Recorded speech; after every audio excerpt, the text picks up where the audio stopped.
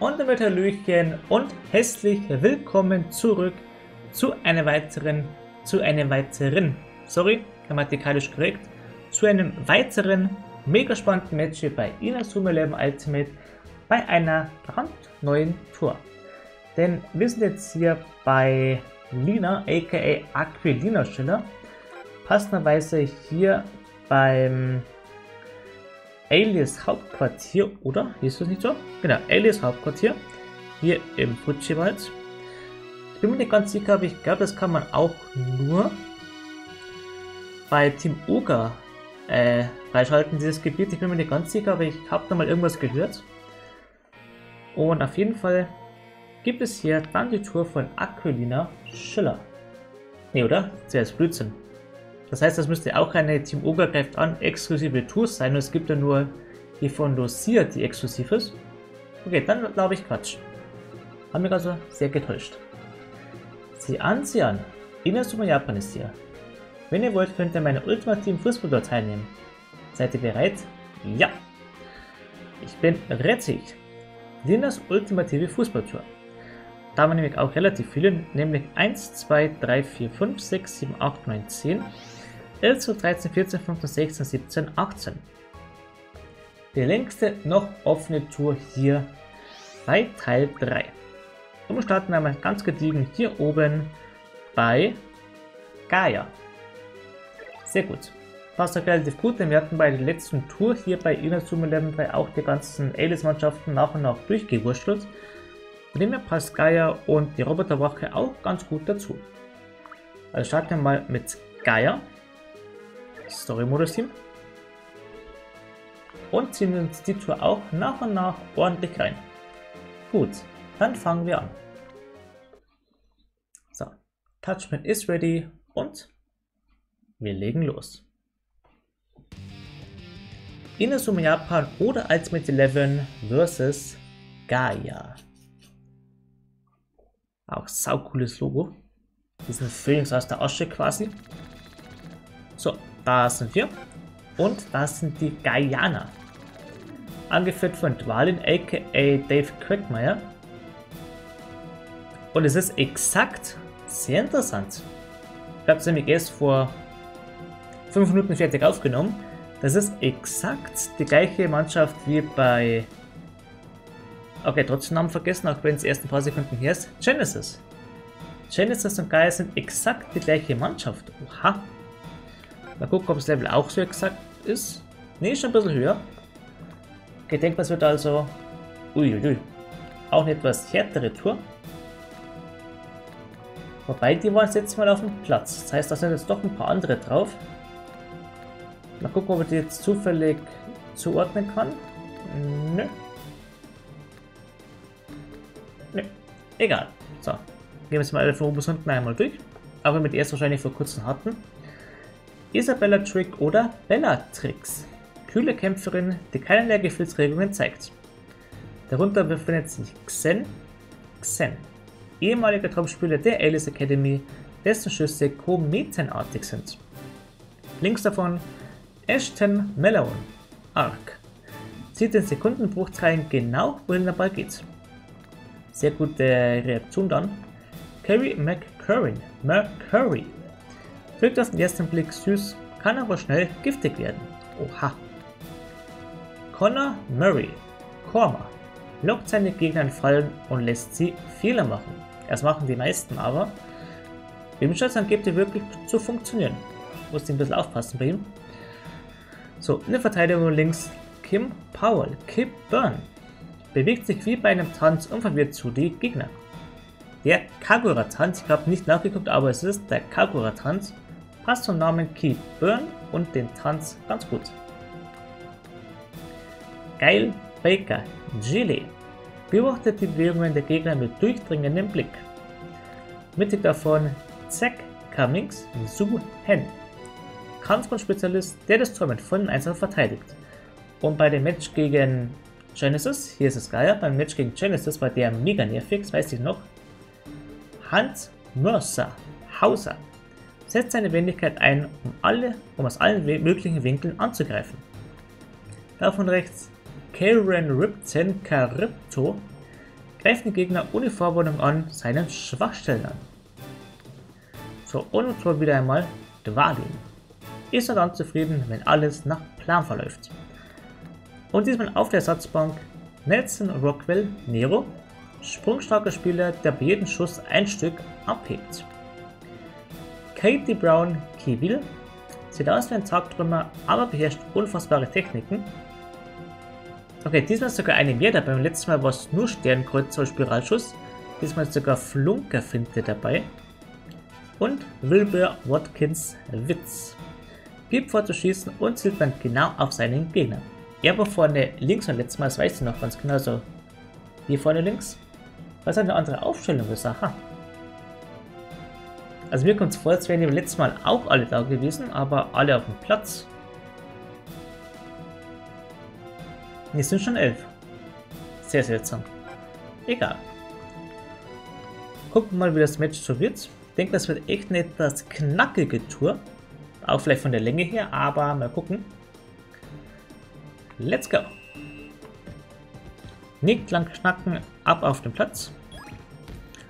Der Ball muss rollen. Quasi Rock und Roll sozusagen. So, und das war jetzt fast gut, aber schon kommt wieder Zoom daher. Gut. Okay, ich bin trotzdem Ballbesitz, das heißt, ich kann jetzt gar keinen Abseits kriegen oder sowas. Von dem her kann ich jetzt ziemlich, ah, fast chillig gucken, ob ewiger Eiswind reicht. Denke normalerweise schon, wenn, wenn ich schon hier auf Stufe 3 bin. Gibt noch mal ein bisschen extra Bums. Jo, der ist drin. Piu. 1 zu 0.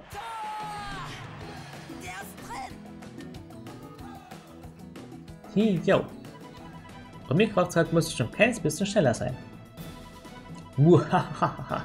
Ausgezeichnet. Jetzt macht das Ganze nur noch unterhaltsamer. Ach, der gute alte Mr. Burns. Ausgezeichnet. Er ist gezeichnet. Richtiger Simpsons-Klassiker. Weil ich habe so unfassbar Bock auf das Simpsons Hit and Run Let's Play, was wahrscheinlich erst gefühlt in Monaten kommen wird, aber ich habe so Bock drauf.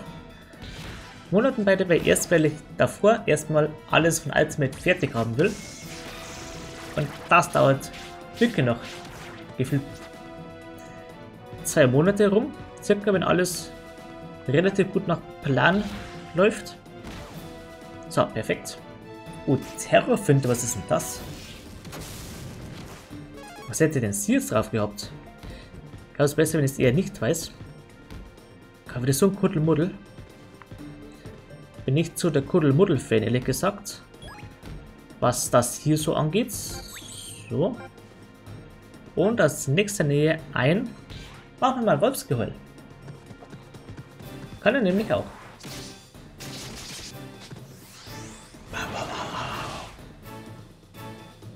Ja, andersrum. Wurmloch. Ha, right in your face. Und bam. 2 zu 0. Hiyo. Ja, ich habe getroffen. Ausgezeichnet. Das macht das Ganze nur noch unterhaltsamer.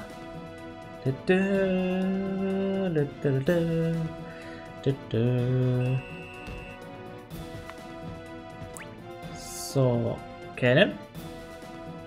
Nein, Gretchen. Ich will noch ein bisschen, ein bisschen da behalten. Boah, stark belagert. Aber boxt sich ein bisschen durch. Trotzdem, Ballabgabe kann ab und zu mal nicht schaden, vor allem wenn es Richtung Excel geht. Feuerwelle. Sieht auch so geil aus.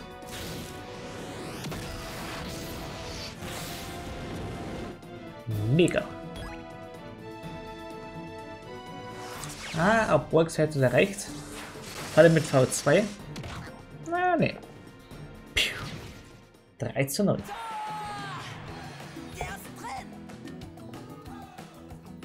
Hier, Noch Fragen? Ausgezeichnet. Das macht das Ganze nur noch unterhaltsamer. Jetzt Halbzeit des bald schon rum. Es geht ja relativ flott hier. Oh, jetzt wird's heiß. Ich frage mich jetzt ohne Witz echt. Sind Gaia und Genesis die gleichen Mannschaften gewesen? Denn ich weiß, bei der Tour beim Roboter unterhalb der des Schulclubs, des Fußballclubs, gab es Genesis, das war exakt die gleiche Mannschaft. Nur, dass irgendwie aus ein paar Gründen die Leute auf der Ersatzbank waren, die eigentlich auf dem Platz waren. Und ich weiß, die waren auch alle dabei. Das ist echt ein bisschen seltsam.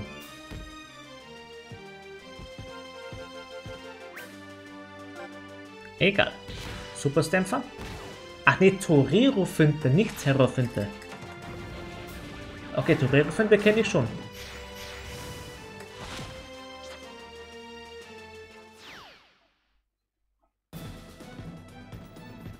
Übrigens, kleines äh, Trivia. Die Stiere reagieren nicht auf die Farbe, also nicht auf das Route, sondern nur auf die Bewegung.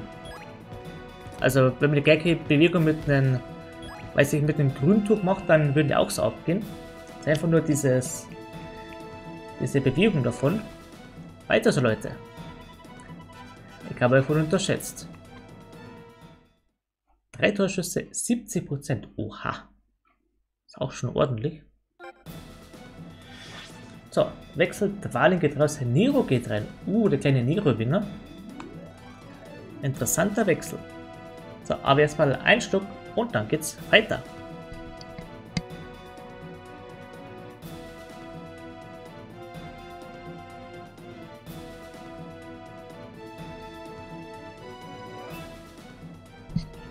So. Stöpsel drauf und weiter geht's.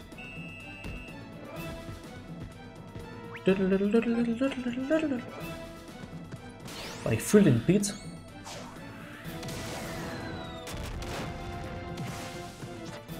Serie bombt einfach. So, alle auf einen. Dreifach. Oha. Die wird jetzt richtig zerrupft. Und zerstampft.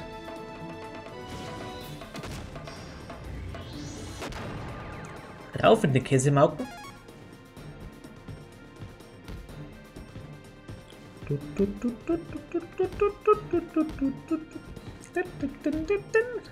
Ah. Oh, den habe ich. Und den hat er auch. Okay, war jetzt auch ein sehr billiger Schuss. Der wäre jetzt nicht ehrenhaft gewesen.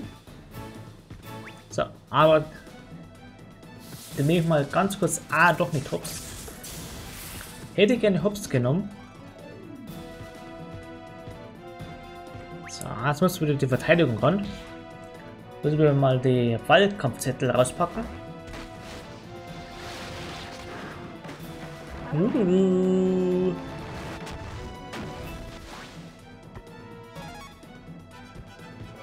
Was für eine geile Technik. Immer wieder schön. Komm, man dreht ein bisschen am Rad. So, mal gucken. Ich stehe so relativ günstig da. Mal gucken, Feuersturm.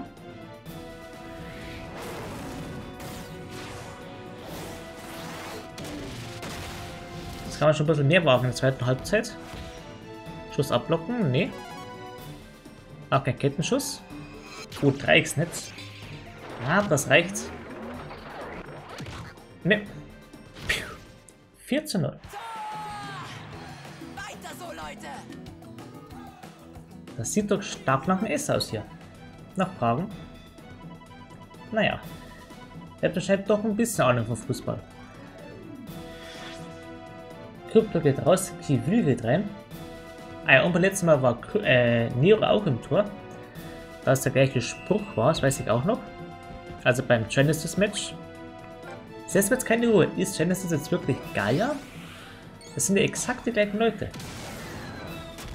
Ich weiß es gar nicht mehr, ist schon so übelst lang hier. Ich weiß nur, dass Janus der Anführer von Genesis ist, äh, Gemini war weil er da in der perfekten Synchro gesagt hat, spürt die Kraft von Gemini. Das weiß ich noch, aber den Rest kann ich jetzt echt sehr schwer zuordnen. Sind ja, glaube ich, irgendwie sieben, acht Mannschaften, die ganzen Alias, Alias Teams. Kann man schon ein bisschen leichter aneinander kommen. So, keine Shots. Das sieht doch sehr gut aus. Perfekt, das ist das S.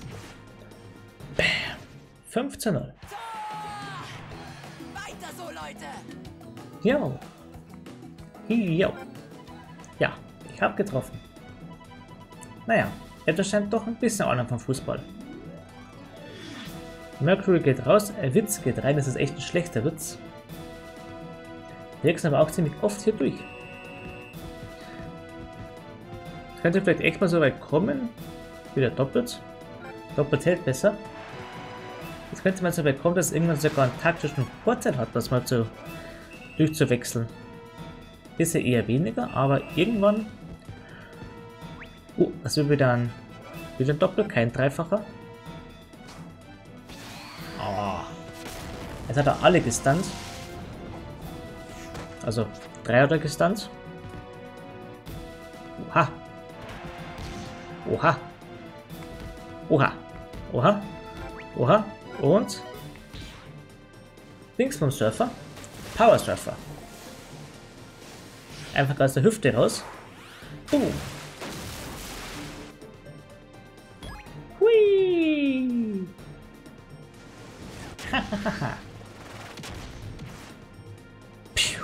6 zu 0.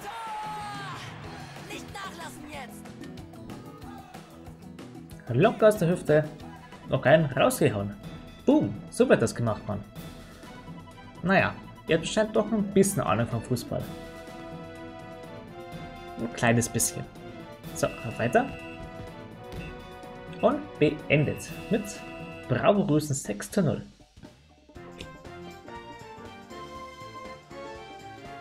Gewonnen. Also, wir haben gewonnen. Was? Wie? Ah, dieser Mr. Big Head. Googelt mal, wer nicht kennt, Mr. Big Head, Hogwarts moderne Steven, es ist der gleiche Kopf. Wobei, ich glaube, doch bei der Netflix Special, sieht man ihn auch, glaube ich. Also, guck mal da, da sieht ihr ihn auch. So ein komischer Mensch. Uh. Mal gucken. Einige Level-Ups. Aufgeweckte Stollen, okay. Normaler Loot und Level Up bei Hobbs, Sharp, Stoutberg, Hawkins und Stonewall, der nächste 70er. Ach, das ist doch schön. Also müssen mittlerweile auch schon bald Team Level 70 sein, rum. Also ich weiß, wir sind schon ewig bei 69, ein bisschen hin und her. Plus, minus. Aber langsam müssen wir echt schon bei Team Level 70 sein. Das ist schon stark. Also nicht schlecht zumindest. Das war ja gar nicht mal so übel. Sagt Bescheid, falls ihr noch ein Spiel wollt sehr gerne. Denn das nächste ist hier auch schon verfügbar. Und zwar wäre das hier die Roboterwache. Die machen wir dann beim nächsten Mal und ich würde erstmal sagen, wir machen die obere. Da die 1, 2, 3, 4, 5, 6, 7, 8, 9. 1, 2, 3, 4, 5, 6, 7. Okay, sind beide 9. Also 9 oben, 9 unten. Aber wir haben schon oben angefangen, also machen wir erstmal die obere und danach die untere Tour. Abzweigung. Genau. Gut. Also nächstes Mal, wie gesagt, geht es dann gegen die Roboterwache hier bei Linas. Wie heißt die Tour? Hat die irgendeinen Namen? Ne, einfach Linas ultimative Fußballtour. Gut. Dann würde ich mal sagen, danke fürs Zugucken und bis zum nächsten Mal. Und nicht vergessen, immer schön am kleinen Kunden Ball bleiben. Bis dann. Ciao.